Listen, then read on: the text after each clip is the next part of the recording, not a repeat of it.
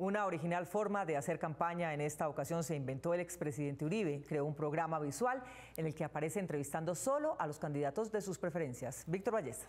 Mónica, en estos días entrevistó a una candidata sobre la que confiesa abiertamente que tiene su afecto personal y político.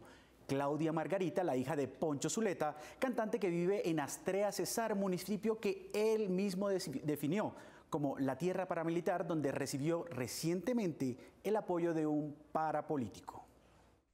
Que ganes, que ganes Ayer el expresidente Uribe, ahora periodista, entregado de lleno a las campañas de sus candidatos, le dedicó más de media hora de su nuevo programa en video que llamó Conversando con Uribe a su predilecta, la aspirante a la gobernación del Cesar, Claudia Margarita Zuleta. Yo soy muy conversón. Uribe está fascinado con Zuleta. Muchas gracias muy, muy ilusionante. En muchas ocasiones ha dicho públicamente que es su candidata. Claudia Margarita Zuleta. La misma del clan Char y de otros cuestionados políticos de la costa. En ti vemos reflejada mano firme, corazón grande y manos puras para el manejo de los recursos públicos.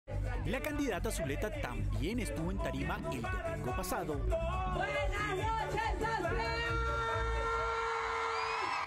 de su papá, el famoso Poncho Zuleta. El evento de cierre de campaña se realizó en el municipio cesarense de Astrea, en donde vive la familia Zuleta y en donde Poncho hace y dice lo que quiera ante la adoración de los demás. ¡Viva la tierra paramilitar! ¡Viva la tierra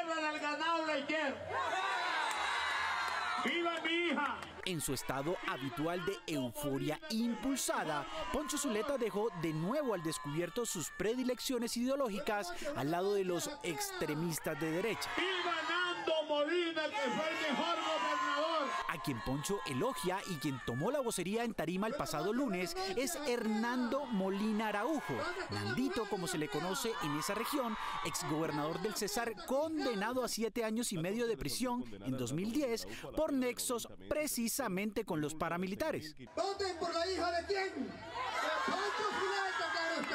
Según se dijo en su momento, Molina Araujo tuvo fuerte relación de grupo con el ex jefe paramilitar Jorge 40, tanto que a Molina se le conocía como el comandante 35. Adelante, Claudia, y no desfallezcas el cantante no ha parado en las giras con su hija. Incluso consiguió una reunión hace poco en Barranquilla con el patriarca del Clanchar.